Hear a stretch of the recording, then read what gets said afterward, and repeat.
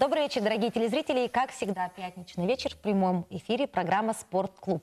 Мы работаем в прямом эфире. Номер нашей студии 42 38 97. Если вы только присоединились к нам, пожалуйста, будьте активнее, звоните к нам в студию, задавайте свои вопросы. Ведь сегодня мы поговорим с вами о конном спорте, а также о велоспорте. Да, а, дорогие телезрители, добрый вечер. И надо сказать, что 9 мая у нас состоялось а, открытие а, скакового сезона. Большие скачки прошли у нас в городе Якутске ко дню Победы, традиционные скачки. И вот мы сегодня пригласили гостей, чтобы обсудить начало сезона и, конечно же, вот прошедшие соревнования. Итак, сегодня в нашей студии Александр Афанасьевич э, Капитонов, исполнительный директор Федерации конного спорта Республики. Здравствуйте. И Николай Иннокентьевич Румянцев, член Федерации конного спорта Намского улуса, а также владелец скаковых лошадей. Добрый вечер. Здравствуйте. Александр Афанасьевич, расскажите, как же прошли эти скачки, традиционные скачки, а, насколько они были массовые, сколько было участников и вообще пришли ли люди посмотреть на это зрелище? Да, 9 мая, несмотря на непогоду, там маленький дождик был, все равно на трибуну правая сторона была наполнена поклонниками скачек. Скачки, я мне кажется, прошли э, весьма и весьма интересно. Э, Мы давно так э, интересно не скакали, скажем так.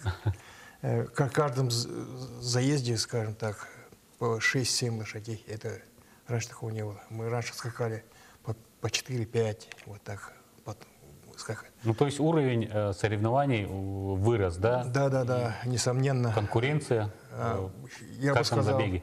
подметил, что вот все три отделения, которые сейчас принимают участие, их уровень вот, квалификации тренеров, жокеев и вот класс лошадей, он намного вырос. Вот последние, скажем так, 5-6 лет уже вот заметно вырос. И это замечательный показатель, да? Да, и надо поздравить, конечно же, э, Николая Николая Иннокентьевича, да. Спасибо, спасибо. Ваш скакун, да, Хевенли Стит, стал э, победителем а, вот главного забега. И расскажите, пожалуйста, ваши эмоции. Я, Ожидали ли вы этой победы? Я начну с того, что я эту лошадь приобрел три года тому назад. И первые скачки, которые он начал э, это, в сезоне 15 года, это были тоже скачки 9 мая на призы Героя Советского Союза Федора Попова, человека, которого я с детства уважал, обожал. И тогда, когда первый раз мой, конь выиграл эту, этот приз, мне было э, радостно. И я вот восхищался. Я никогда на самом-то деле раньше э, э, в течение 20 лет мимо проезжал, ЕГСК проезжал, мимо ипподрома проезжал, и ни разу не, ни разу не заглядывал, ни разу даже не был на скачках. Но после того, как я приобрел эту лошадь, у меня загорело желание уже третий год подряд, вот э, в 15 году, в 16 году и вот в 17 году он выигрывает самый главный приз, приз Федора Попова выигрывает моя лошадь. На, де- на 9 мая. Хевен да? Листи, да. Это и стимулирует, Да, наверное, это участвовать стимулирует, каждый когда- год, да? И тогда, когда День Победы побеждает моя лошадь, я всегда э, чувством гордо- гордости, чувством ожидания, что это э, начало сезона, и моя лошадь выиграла первую скачку, и это означает, что она до, она действительно, эта лошадь э, с характером, и если он, она начала сезон с, с- победы. с победы, то он обязательно завершает сезон с по- победой. Поэтому это то, что он, э, между прочим, выиграл очень хорошим большим отрывом. Поэтому мне лес, э, это приятно вот, смотреть. Николай приятно. так з- рассказывает, да, эмоционально про достижение своего коня, да, вот именно, как будто, вот, знаете, нередко, не, не зря многие люди сравнивают вот уход за лошадьми, как практически за детьми. Вы выращиваете их как, и, конечно, гордитесь достижением, практически как достижениями своего ребенка в любом другом виде спорта. Правильно, да, мы даже зимой, пусть будет 50 градусов, пусть будет 60 градусов, мы зимой, каждые выходные лошади зимой стоят в Намцах. Это отсюда 80 километров. И каждое воскресенье семьей, я, жена, дочка, ездим э, Хамагату, и каждое воскресенье кормим свою лошадь яблоками, сахаром, морковью. Поэтому она, она Балована, нас ждет, когда, когда мы заходим, и даже за стеной начинаем уже Хейвенли, Хейвенли, он начинает сту- стучать копытами. Нас она да- издалека знает. Вот это да, да. Вот она любовь, да? Да. А, Александр, э, Афанасьевич. Афанасьевич, а скажите, пожалуйста, вот у нас э, сезон начался, ну, конечно же, это были первые скачки, большие скачки, да? У нас впереди еще много скачек. Э, Расскажите, пожалуйста, про планы федерации, про календарный план. Что нас ждет Да, действительно. Э, У нас э, в плане 15 республиканских скачек. Запланировали мы на этот скаковой сезон. Э, Пять скачек уже провели с успехом, скажем так. И у нас сейчас будут для разыграны основные призы. Вот, допустим, Ильдархан, приз дерби, э, критериум. Ну, у нас в целом э, ежегодно мы разыгрыв- разыгрываем 13 традиционных призов стоимостью от 2 миллионов и до 100 тысяч, допустим. И хочу отметить, что в этом году Илтархан Егор Афанасьевич э, увеличил приз Ильтархана до 3 миллионов. Если мы ранее скакали, у нас 2 миллиона же было, сейчас уже без этого года будет 3 миллиона. То есть по- команда-победитель получает э, 3 миллиона. Да, 3 миллиона мы делим на 4 призовые места, допустим. И 12 июня, как раз в День России, День России Жуна, мы в Усть-Хатыне проводим отборочные скачки. Это как бы традиция, э, где будут принимать э, участие лошади, которые будут заявлены э, призы Илтархан стоимостью 3 миллиона, а также приз Дерби 1 миллион. И 90 мы разыграем, э, получат лошади путевки. Один бокс уже забронирован за Хэмилли Хэмилли Стит, Стит. Николай Никитич уже знает. Хэмилли Стит уже стоит. Э, Мы будем отбирать 9 участников. Так. Потом... То э, есть лучшие из лучших, да? э, да, да, да, да, да. Э, Вот они по, по трем заездам мы вы- выявим 9 лошадей, участников вот этого приза. И приз, э, вот этот, э, все ожидают, вот, самый значимый приз. И, и не менее важен приз дерби, потому что приз дерби, он все-таки... Традиционный скаковой приз, да, да, да, да, приз он дерби. мирового уровня, скажем так. Э, Ну, надо, наверное, пояснить, э, приз дерби э, вручаются э, скакунам, которым определенный э, возраст, да, насколько я знаю, или, Нет, или как э, отбираете? Мы от- отбор у нас положение уже разработано давно, мы его не меняем. Лошадь должна э, пе- перезимовать в условиях Якутии. Главное, самое Да, главное. и смотрим рейтинг выступлений вот, э, за прошедшие вот два сезона. Да, а еще таки- ходили такие слухи, да, среди любителей э, конных скачек, что вот э, приз Илдархана, самые главные скачки, которые традиционно проходят э, в день СЭХа, да, э, в городе Якутске, да, что его хотят перенести вот э, на СЭХ э, Алонхо, в Вилюйск или еще куда-нибудь. Ну вот, я думаю, что многим это интересно будет узнать. Развейте этот миф или Такая информация э, была, э, но сегодня мы разгова- я э, разговаривал со Арсением Сергеевичем Николаем, президентом Федерации конного спорта, где он конкретно сказал, что приз Илтархан будет разыгрываться в Якутске. То есть это, будет проходить у нас а, Да, на ипподроме. вот, а где? да. Вот, Да, на да, да. ипподроме И- Академии или... э, Не, почему? Если, если мы э, отборочные скачки проводим в Юсхатын, то, соответственно, приз Илтархан будет разыгран в Юсхатын. Тоже на новом э, нашем ипподроме, да? Да, да. Ну, ипподром Юсхатын, он э, уже работает с 2013 года. 2013 года мы уже успешно там Но мы скачем. традиционно, конечно же, знаем, что наш, э, наши главные скачки обычно проходят все-таки на ипподроме Подробно. Да, ЕГСХ, там, да. там массовость, там, извините меня, 10 тысяч человек. Помещается, да? вот Да, на Вот 10 новом тысяч стадионе. посадочных мест, он, он по- полностью бывает заполнен, плюс еще стоят по периметру уже ипподром. Это где-то по милицейским сводкам я как-то удалось мне посмотреть. э, День розыгрыша Ил, Илтархан э, присутствует где-то 11 тысяч. 11 тысяч зрителей. Ну, это, это- это, наверное, ну, самые массовые, да, да, да, да. Любят, спортивные любят, да, мероприятия. всё-таки у нас скачки. И потом у нас э, в этот э, 24 июня будут командные скачки, которые тоже ребята вот принимают все участие. 25-го мы разыграем призы дерби и остальные призы. И 26-го планируем разыграть приз Илдархан. То есть насыщенный у вас календарный план, Да, у и нас информация такая верная, что любителям конного спорта будет на что посмотреть, да? Николай Накентьевич, а расскажите, пожалуйста, как давно вы стали увлекаться вот именно Ну, а, лошадьми? Это любовь, наверное, наверняка у вас с детства была, а вот именно как, как вы пришли вот именно в конный спорт?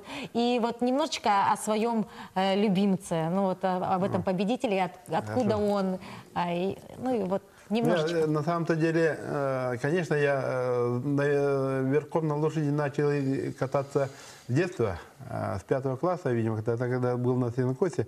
Именно, я, э, именно мне, меня доверили лошадь, и я собирал, э, ну, на грабле сидел и собирал. Поэтому с тех пор на коне сижу. Но э, на самом-то деле любовь к лошади появилась э, три года тому назад, тогда, когда мы приобрели вот лошадь э, Хевель Стит. Хевель А. Стит, вот э, здесь на фотографии. Где С тех пор, да, с тех пор она вот, а, и А она, откуда она, э, родом она, она- мы его перевезли из Казани, купили в Казани. В Казани он тоже непло- неплохие места занимал, первые, вторые, третьи места занимал. И лошадь э, на самом-то деле очень хорошая своим характером. Самое главное, лошади э, на самом-то деле, как у человека тоже характер должен быть, оказывается. Он, он на, на характере. В прошлом году, в характер. прошлом году э, выиграл э, Кубок Ляги на характере. Он был, шел шестым, где-то э, метров 120 позади шел, но на характер выиграл. Понимаете? Поэтому я благодарен на самом-то деле своему э, нашему тренеру Ядриву Сергею Петровичу. Благодарен нашему э, президенту Федерации Намкауса э, Еремею Алексею. И вот мы, как целая команда, ну, од- одна, как одна, три года тому назад наша федера- федерация появилась, и мы как одна команда, сейчас практически у нас полный состав лошадей. Мы в прошлом году приобрели одну лошадь, э, то есть я э, Риттер Кида переобрел. В этом году она вот э, на празднике Победы она стала вторым. Если собачка впереди него не пробежала бы, может быть, она первым стала бы выиграл, да? Ну, чуть-чуть вот, Вот такая. вот интересно. такие. Да, действительно, Александр, И, а, и, и, и вот недавно, извиняюсь, типа, вот недавно, полтора месяца тому назад, еще одну лошадь мы приобрели. Еще, то есть еще- еще будущий еще- чемпион, да, у вас Эдимон, будет? это получается у нас, э, у меня э, третья лошадь, его зовут Эдимон. вот это да, Ростове вот команда. Намского Улуса, да, насколько Берегитесь, сильная да, Команда берегитесь. сформирована. Она Намский нынче на призы э, президента стала три, э, при- при- на э, э, День Победы стала третьим. Ну, Николай Накентьевич может рассказывать о своих лошадях, наверное, бесконечно, но время нашего эфира ограничено. Сейчас нам необходимо уйти на короткую рекламную паузу. Не переключайтесь, а вам спасибо большое, что сегодня пришли и рассказали про открытие скакового сезона. Мы надеемся, что все скачки будут очень зрелищные.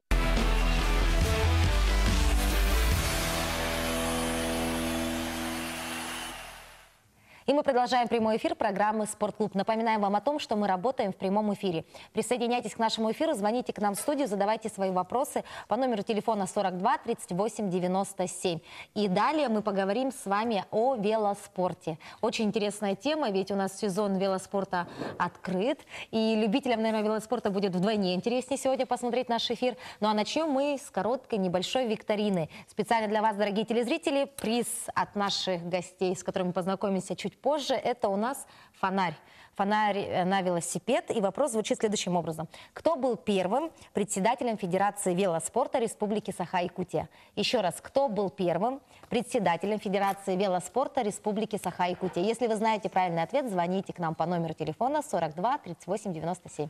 Да, обязательно звоните и получайте э, замечательный приз от Федерации э, велоспорта Республики Саха-Якутия. И давайте перейдем к нашим гостям. Э, давайте познакомимся. Э, итак, ближе всех ко мне Владимир э, Тимофеев, победитель вот, гонки традиционной, которая прошла у нас э, 9 мая, в День Победы. гонка, которая называется «Салют Победы». И еще один победитель, но уже среди девушек, Ия Панова. И э, наш э, заместитель председателя Федерации велоспорта Республики Саха-Якутия Андрей Попов. Добрый, вечер. А, Андрей, первый вопрос будет к вам, как председателю Федерации. Э, Это ежегодно, а, заместителю э, председателя Федерации. Это у вас ежегодная, да, а, гонка а, «Салют Победы». И проводится она, если мы знаем, с 2006 года.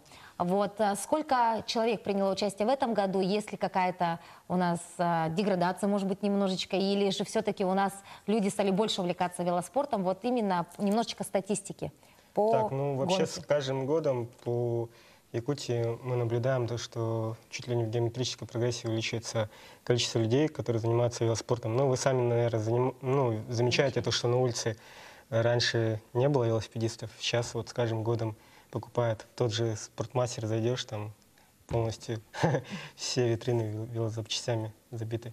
И получается в этом соревновании лосиные бега «Салют Победы». Сначала соревнование называлось «Лосиные бега», потому что по аналогии с западными соревнованиями, когда люди э, бежали марафоны, и их называли лосями, типа супер мощные ребята такие. Потом вот приурочили к 9 мая м, в- память о ветеранах э, в- ну, некую историю.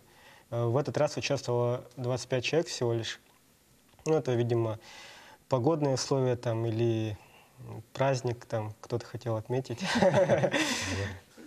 Ну, Поэтому а как-то, вообще федерация примерно сколько человек сейчас насчитывает? а, людей, которые занимаются Да. спортом, ну, в 2016 году было порядка 400 с лишним участников. То есть достаточно большое количество. Да. Это люди, которые регулярно а, участвуют в соревнованиях э, и э, в ваших мероприятиях, правильно я говорю? Да, то есть вот, э, допустим, в 2011 году было всего лишь 5 мероприятий, как и в 2012 году. Участников было 88 и 81. Э, В 2013 году 10 соревнований, в 2014 11. Э, Было по 100. А в этом году сколько было? А В этом, ну, в 2015 году, соответственно, было 20, и, два- и в 2016 21 соревнований. Участников было уже 368 и 451. То есть э, количество участников очень сильно растет, и это сильно радует. Ну тогда перейдем непосредственно к самим участникам. А, Ия и Владимир, это у нас победители а, гонки «Салют Победы». Первый раз ли вы участвовали в этой гонке? И, или, возможно, уже не первый раз и являетесь победителями? Расскажите немножко именно про эту гонку. Владимир.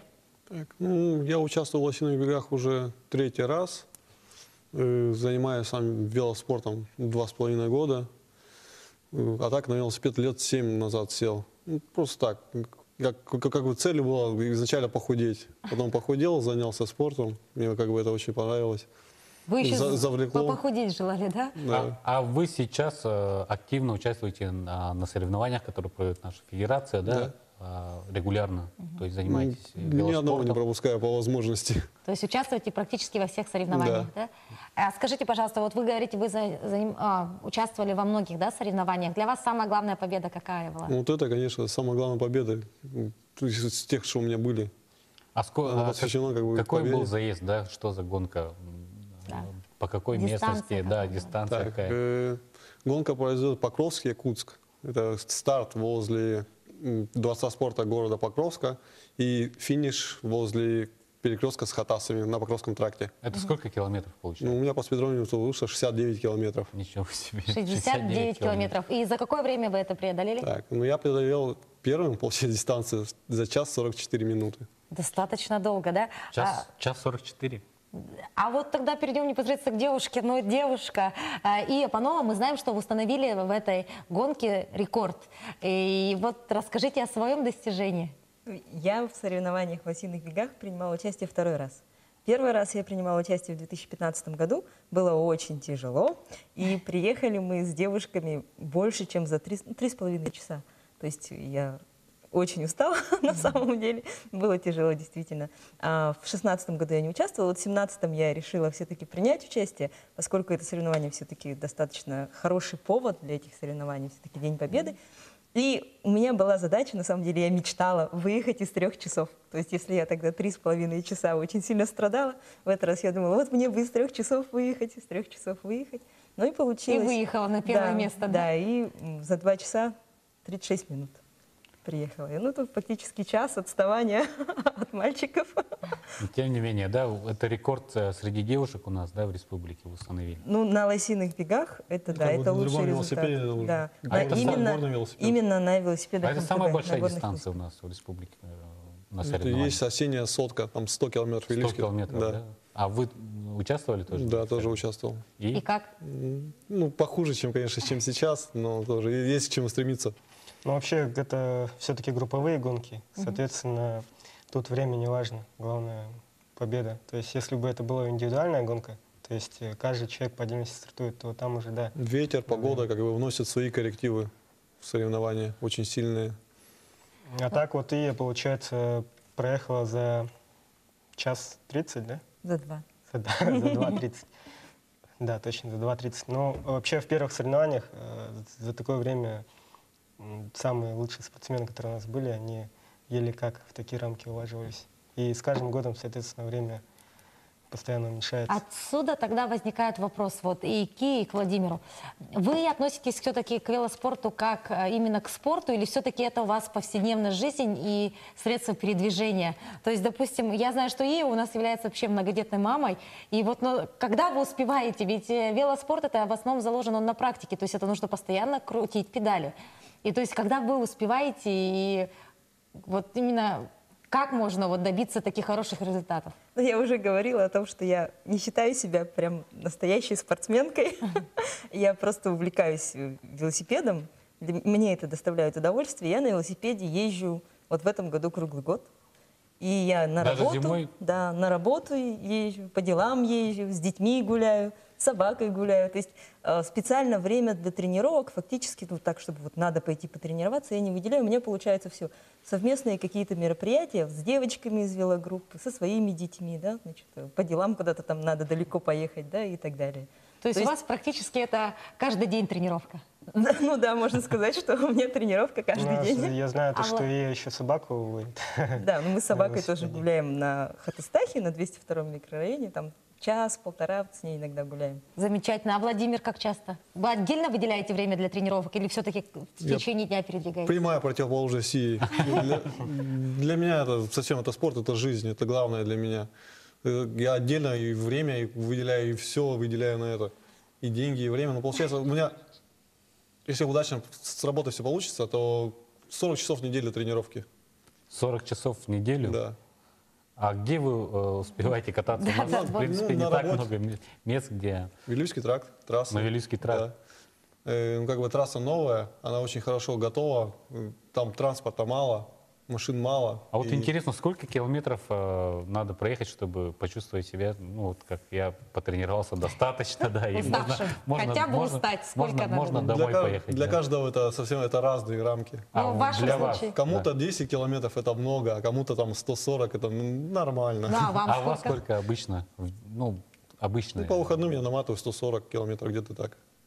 Для меня это нормально. А и Некоторым на автомобилях У 140 меня километров. это максимальный мой заезд был в каком-то году, когда мы ездили в поход на Иланку. Там было больше 200 километров, но это было за три дня, ну, два-три дня. фактически. Ну, такое А- приятное с полезным, да? Да, да. То Совмещаете. есть я начала втягиваться, вот именно заниматься велосипедом, активно, часто много ездить, именно с велосипедных походов.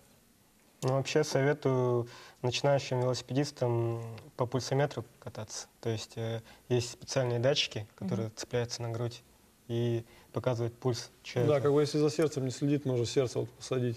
Ну, то есть Да, э, необходимо обязательно а, контролировать и следить за этим. То, то есть могут многие Ну, если, увлечься если- если сильно, спор- да? если конкретно спортом заниматься, то вот пульсометр обязательная штука. Вот Ну, э, то есть, про, допустим- про- про это надо будет поговорить еще А, обязательно. да, да, это Да. мы немножечко поговорим во, во активно, второй да, во части, второй да. части потому про что, безопасность. Потому что про это надо будет говорить более обстоятельно, наверное, да. У нас остается немного времени до рекламы. И вот э, такой вопрос. а, скажите, пожалуйста, вот э, Федерация э, велосипедного спорта, да, а сколько вообще соревнований в этом году будет? В этом году. Э, В этом году порядка 22 соревнований будет. Это Э, республиканские большие соревнования, которые...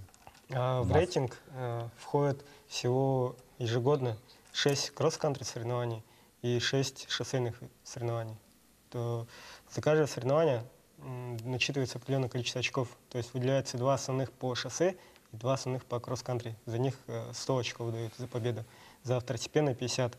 А Также, кроме этого, есть э, детские велогонки, э, которые проводит э, Анна Белобородова, ну, тоже заместитель Федерации по детским гонкам. Также есть и даунхильные гонки, это экстремальный Спуск, спуск с с горы. да. да. Также есть эндуро. Это вот облегченный вариант э, даунхилла. То есть можно даже на уницикле, на BMX спускаться. Ну, то есть это такой для всех. И есть BMX. То есть э, дети обычно занимаются. BMX, кстати, очень хорошая дисциплина для детей. Многие недооценивают этот вид спорта в том плане, то, что это как турник. То есть э, человек постоянно прыгает, прокачивает свои Ну, мускулы. надо, наверное, чуть-чуть пояснить. Да, BMX это вот на маленьких На велосипедах, Да, которые, это да, На- и на совершают э, различные акробатические Да. трюки. Ну, не акробатически, Ну, это получается трюки, да. аналог э, спринта. Спринт на 5-10 секунд, там, допустим, есть же. Э, Вы сами знаете, как выглядят э, бегуны-спринтеры. Да, да, это да. гора мускул. То же самое и с BMX. То есть э, BMX среди велосипедистов это такие качки, у которых Итак, ну, очень интересная тема, про которую тоже говорить можно бесконечно. Нам сейчас необходимо уйти на короткую рекламную паузу. Не переключайтесь, оставайтесь с нами. Мы сегодня говорим на данный момент о велоспорте Республики И, Саха-Якутия. и да, и не забудьте а, про наш вопрос в викторине, а, кто, кто был первым а, Председателем председателем Федерации Федерации велоспорта. велоспорта Республики Саха-Якутия.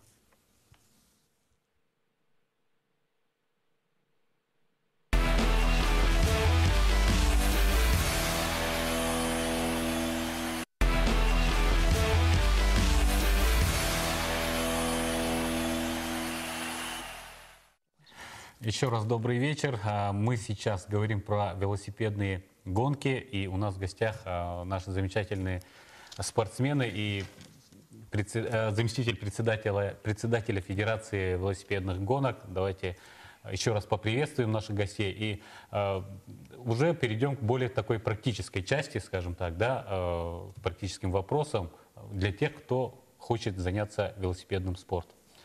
Существует у нас, у нас в студии сегодня два разных велосипеда. Это горный велосипед и шоссейный велосипед. В чем же разница, мы попросим, наверное, рассказать а, Владимира и Андрея. А главное показать, чтобы телезрителям было понятно, какова разница между горным и шоссейным велосипедом. Ну, давайте Прошу. начнем с горного велосипеда. Это как э, наиболее популярный вид транспорта у нас в городе.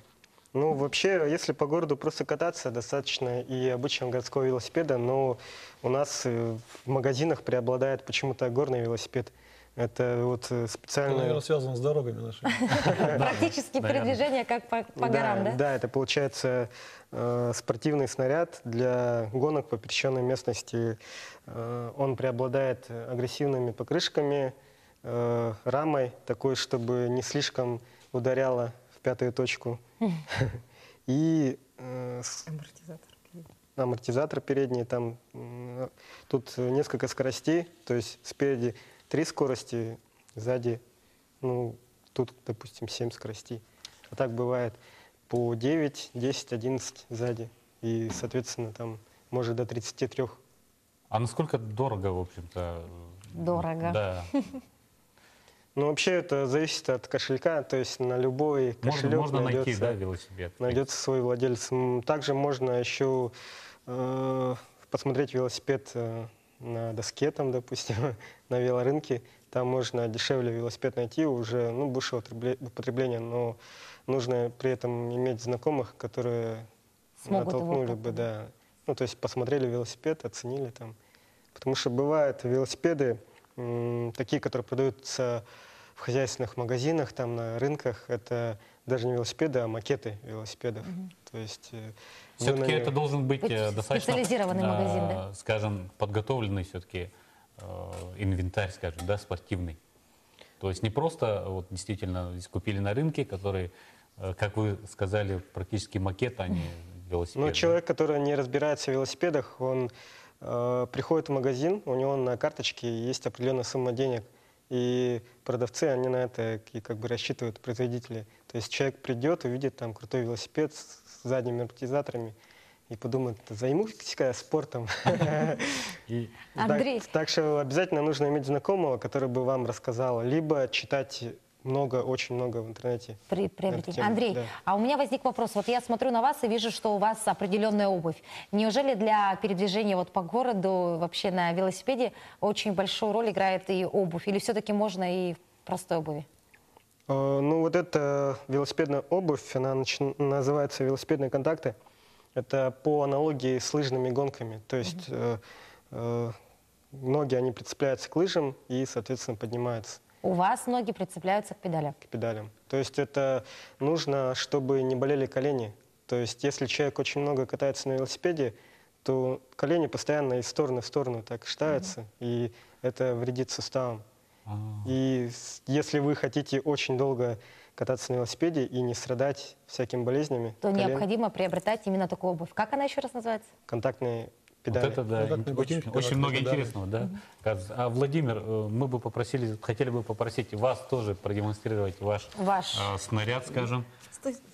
И у вас все-таки уже другие, да, другой велосипед, это шоссейный велосипед. Посмотрите, В чем он, отличие, да, во-первых, и- размерами, да, как таковыми. Пос- Ну, возможно, это не видно у нас на экранах телевизора, но реально здесь все намного тоньше, да? Это прямая противоположность горного велосипеда. Это шоссейный велосипед. Ну, самое что главное, что бросается в глаза, это тонкие колеса, это низкий вес. Он создан, он создан для скорости. Так, тут нет амортизатора переднего, это главное отличие. Он весит очень много, он весит очень мало, как бы для скорости создан. Руль. Тут стоит прямой руль на горном велосипеде. На шоссейном велосипеде всегда э, руль булхорн, то есть руль баран, как э, рога барана. Для чего это? Ну, Для удобства. Нет, это не для удобства. А для чего? Это делается для аэродинамики.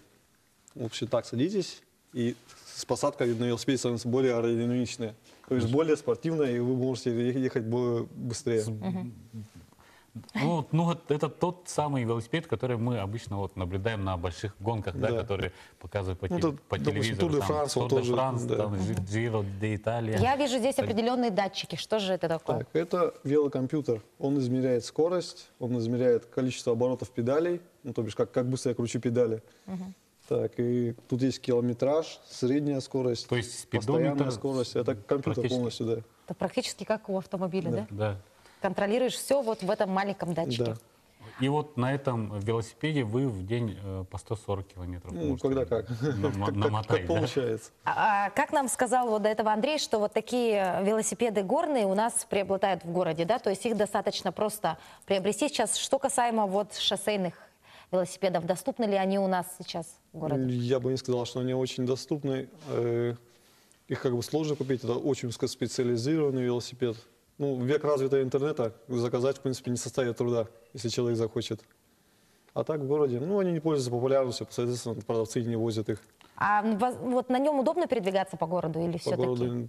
По городу удобнее все-таки на горном велосипеде. Мгм. То есть это в основном только вот для именно Только, фанатов, да? Да, для велоспорта? спорта, для, Для того, чтобы заняться спортом, да. Он создан, да, еще он создан только для асфальта. По обычной дороге просто на нем сложно ехать. Отлично. Спасибо, да. Спасибо большое. Причем для хорошего асфальта. То Для есть, э, хорошего асфальта. То есть у нас хороший асфальт только на Велийском тракте, и, соответственно, на шоссейнике вот этом можно только там кататься. А, Начальный ценник на шоссейный велосипед начинается от 60-70 тысяч, и это только под заказ. То есть в городе нигде. Вот вы, э, наши парни, да, как гости, такие отчаянные настоящие фанаты, мне кажется, да, велосипедного спорта. А Ия э, загадочно улыбается, потому что она говорит, что, э, в принципе, она э, как бы больше не спортсмен, А а, любитель, просто да. любитель, да, Да, э, велосипедного спорта. Да. А скажите, пожалуйста, как вы э, пришли к велосипеду, да, и что это вам дает, самое главное? Пришла я к велосипеду очень просто. Когда у меня подросли дети, я подумала, что все в детстве мы катались на велосипеде, и детям тоже надо кататься на велосипеде. И приобрела велосипед на 20-дюймовых, на маленьких относительно колесах для детей. Дети покатались немножко, покатались, ну и как-то интерес немножко у них завял. И, И тут на нем начала я мама на кататься, да. велосипед, А потом э, родные мои посмотрели, ну раз ты так много катаешь на велосипеде, вот они мне купили, под- подарили данный велосипед, и вот с тех пор я... И не зря. Теперь вы Да, у нас победитель да, городских, э, республиканских соревнований. А у меня возникает вопрос. Мы уже затронули тему детского велоспорта, и у нас в городе проводятся а, различные маленькие такие чемпионаты. Да? Я даже знаю, что вплоть до того, что двухгодовалые ребятишки уже могут участвовать э, в соревнованиях на таком мини да, велосипеде. на беговеле.